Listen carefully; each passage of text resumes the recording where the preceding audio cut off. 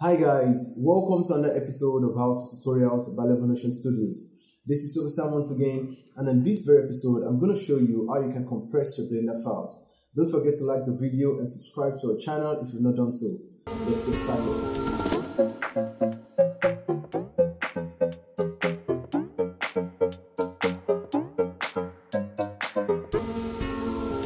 So we're going to work with this scene in this uh, current episode.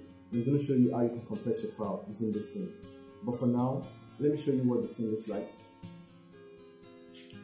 Her just made up some dates to fill in the missing months. So, was there Okay, so currently, this is the file size for this scene.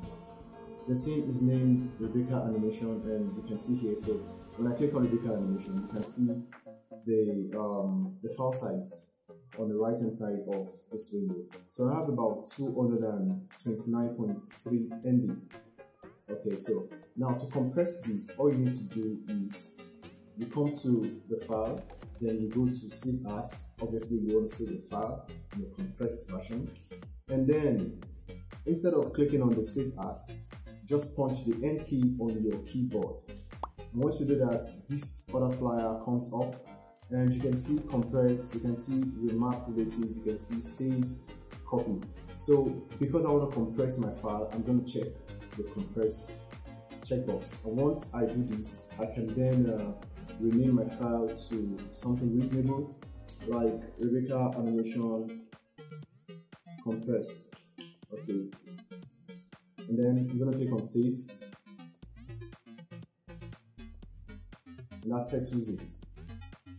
So I have Rebecca animation compressed. To confirm if this file had actually been compressed, easily come to file and then go to save as and as you can see Rebecca animation compressed now has 100.6 MB which means that we'll be able to save about 100 MB from our original file. So this is how you compress your file and um, this file still plays like the original. I can prove that to you by doing this. Just made up some dates to fill in the missing months?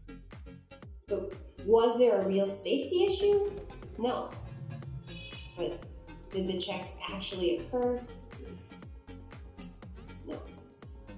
So this further proves to you that you can easily compress your file in Blender without losing resolution or losing uh, vital information from your scene.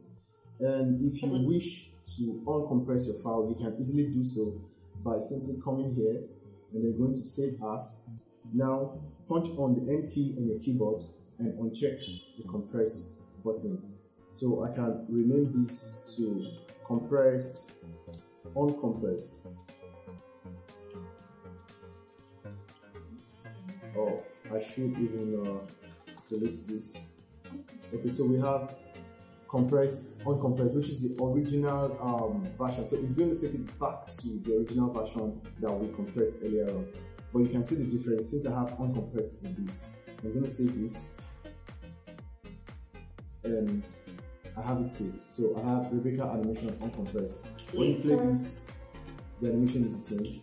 And if I'm, I'm going to check, I'm going to check the file size to prove to you that it has been restored back to the initial file size. So we started with Rebecca animation, which has 229.3 MB, and then we compressed the file to Rebecca animation compressed, and then the, the file size for that is 100.6 MB.